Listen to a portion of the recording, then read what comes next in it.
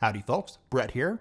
In a recent update to Windows 11, Microsoft moved their Copilot button to the right side of the taskbar and removed the Show Desktop button from appearing by default. For those of you not familiar with this button, it quickly minimizes all of your open windows so you can clearly see your desktop.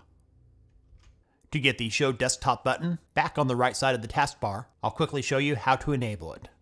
Find an empty space on your taskbar and right click on it. In the context menu, select Taskbar Settings.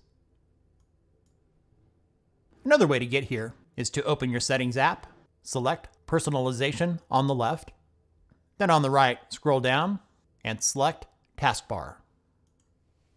In the Taskbar settings, scroll down and click Taskbar Behaviors to expand it. You may need to scroll down a little bit more.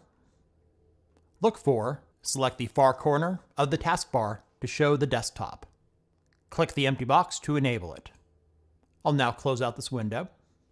After you've done this, you'll see a small sliver of the Show Desktop button all the way to the right side of the taskbar that you can now click on to show your desktop, and clicking on it again will restore all open windows. If you don't see this button down here, you may have to restart your computer for the changes to take effect.